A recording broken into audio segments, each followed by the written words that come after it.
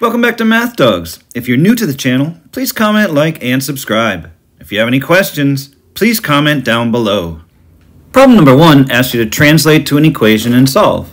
It says 5 times a number increased by 12 is 57. So as with any word problem we work out, we like to break it apart according to the language.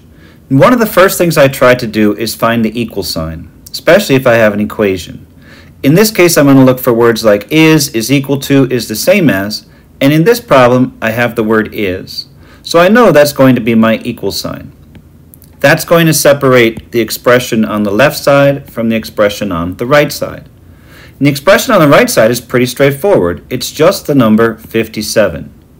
The expression on the left side is a little bit longer, and so I'm going to have to look again for key words to break that apart.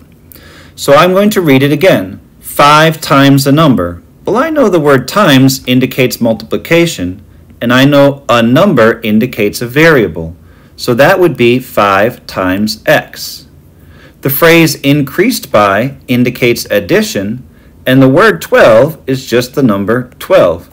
So now I have my equation, 5x plus 12 equals 57. Now all I have to do is solve. The left side is simplified and the right side is simplified, so I'm going to subtract 12 from both sides in order to get the variable term all by itself. 12 minus 12 is 0, 0 plus 5x is 5x, and 57 minus 12 is 45. Now I'm going to make the coefficient of the variable term equal to 1 by dividing both sides by 5. 5 divided by 5 is 1x, and 45 divided by 5 is 9 and so x will equal 9.